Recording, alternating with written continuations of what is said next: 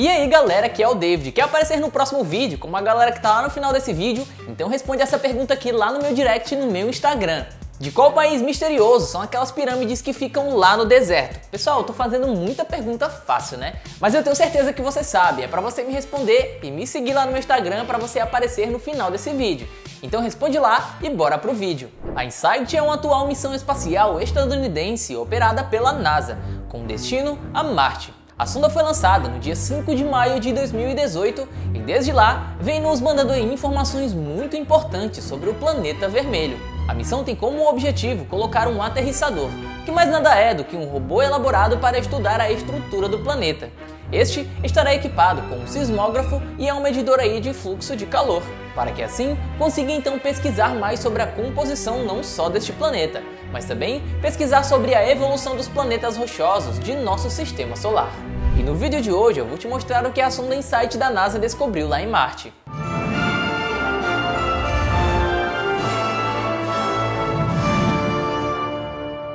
Enquanto a equipe da NASA trabalha arduamente para conseguir levar a sonda para a superfície de Marte conforme o pretendido, o altamente sensível sismômetro do dispositivo já permitiu o estudo da estrutura interna do planeta, o que permitiu que os cientistas registrassem vários terremotos de centenas a milhares de quilômetros de ondas sísmicas. Por meio da do site, os cientistas descobriram que Marte não só está tremendo com mais frequência, mas também mais facilmente do que o esperado. Até agora, mais de 500 pequenos sinais sísmicos ou terremotos foram registrados por essa sonda. O objetivo principal da site é medir os terremotos bacianos, os quais a comunidade científica acredita serem causados por atividades subterrâneas sísmicas, ou por objetivos que estejam aí atingindo a superfície daquele planeta. Além dos pequenos sinais sísmicos, já foram registrados cerca de 30 outros fenômenos maiores, considerados aí relativamente grandes, com magnitude entre 3 e 4 na escala sísmica. Esses terremotos marcianos ocorrem mais profundamente no subsolo do que a maioria dos outros terremotos. O que significa que, embora eles não fossem tão pequenos, provavelmente aí seria quase imperceptíveis se ocorressem aí na superfície daquele planeta. Sem análise de um equipamento especial, como é o caso dessa sonda, é claro. Bom, dois terremotos ocorreram perto de uma área chamada Fossa de Cerberus, onde o solo analisado pelo equipamento indica atividade vulcânica nos últimos 10 milhões de anos. Esta atividade sísmica pode ser causada por conta dos restos dessa atividade vulcânica. No entanto, a InSight ainda não descobriu nenhum dos terremotos realmente fortes nesta área. Os terremotos maiores parecem ser menos frequentes do que é esperado pela NASA.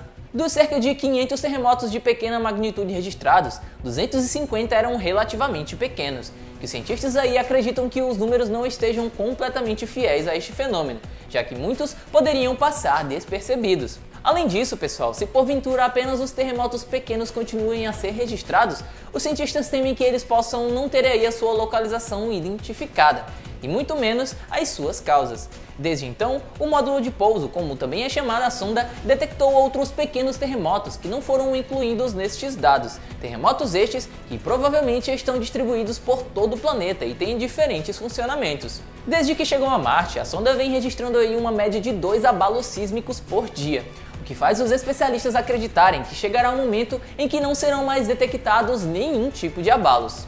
Enchentes antigas, nos últimos 10 milhões de anos, milhares de canais foram criados na superfície de Marte, que cientistas aí acreditam fortemente serem provenientes da vazão de lava presente neste planeta. Muitos deles aumentaram em razão de abalos sísmicos, os pequenos chamados terremotos. Portanto, não é surpreendente que os cientistas que estão à frente dos estudos de Marte tenham detectado atividade sísmica e sinais de atividade vulcânica nesta área. Assim como estes canais distribuem lava ao redor do planeta, os especialistas acreditam que se uma vez descoberta água neste planeta, ele também poderá escorrer para estes canais, e assim regar o planeta inteiro com a substância mais importante para nós, os seres humanos, né? É claro, a água. De fato, há não muito tempo atrás, os cientistas descobriram que nas camadas superiores do planeta existem minerais muito próximos à água e que trazem mais esperança aí sobre uma possível descoberta de água neste planeta. Os campos magnéticos.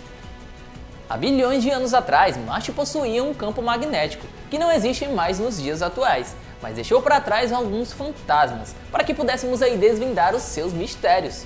Rochas antigas que estão agora entre os 61 metros de vários quilômetros abaixo do planeta foram uma das descobertas da InSight. A sonda, que está equipada aí com um magnetômetro, foi o primeiro a detectar os sinais magnéticos na superfície do planeta vermelho. O planeta não tem um campo magnético constante como o nosso aqui da Terra, embora esse fosse provavelmente o caso há bilhões de anos atrás. Em vez disso, Marte possui pequenas faixas de campos magnéticos indicados por rochas, que mantiveram sua magnetização ao longo dos milênios. Alguns desses campos foram medidos a partir de satélites, mas com o magnetômetro equipado na InSight, os pesquisadores puderam então perceber a existência de um campo estável. Isso mesmo, que é cerca de 10 vezes mais forte do que o previsto pelas observações de satélite. Essa é uma descoberta incrível, pessoal.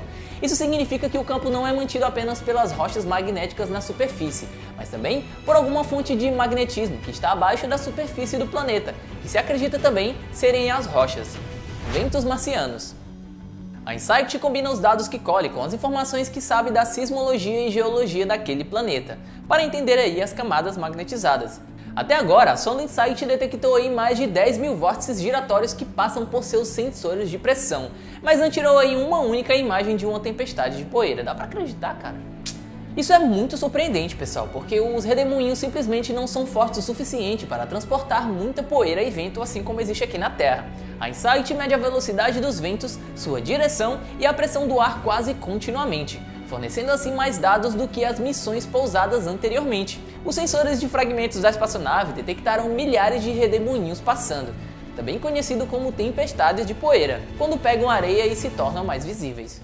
E olha só que interessante, pessoal, este local tem mais redemoinhos do que qualquer outro lugar onde os sensores de fratura foram colocados para trabalhadores no espaço inteiro, isso mesmo o que faz esses redemoinhos de tempestades de poeira marciana perfeitos aí para a exploração sísmica da subsuperfície. Os cientistas estão realmente fascinados por conta dos sinais que mudam ao longo do tempo, já que as medições variam do dia para a noite e ainda tendem a pulsar em torno da meia-noite. Teorias ainda estão sendo apresentadas sobre o que causam essas mudanças, viu? Mas há uma possibilidade de que eles estejam relacionados aí com o vento solar interagindo com a atmosfera de Marte. Marte estaria coberto com mais redemoinhos do que os cientistas pensavam, todos em função desta poeira solar. Esses primeiros dados são apenas um começo, e se levarmos em consideração que um ano em Marte é bem diferente do que um ano aqui na Terra, por ter quase o dobro de dias, podemos ficar bem esperançosos, já que em breve, em tempos marcianos, é claro, teremos notícias sobre mais descobertas incríveis neste planeta tão misterioso. Então é isso, pessoal. Essas daqui foram as respostas das pessoas que me responderam lá no Instagram. E ó, não se preocupa, se você não tá aqui agora, nos próximos vídeos você pode aparecer. Então continua respondendo as perguntas que você pode aparecer aí nos próximos. Beleza? Tamo junto. Então galera, esse foi mais um vídeo aqui do canal pra você. Você tá lembrando da pergunta lá do começo? Eu vou lembrar pra você aqui. Qual o nome daquele lugar que ficam aquelas pirâmides naquele deserto? Eu já dei até uma pista.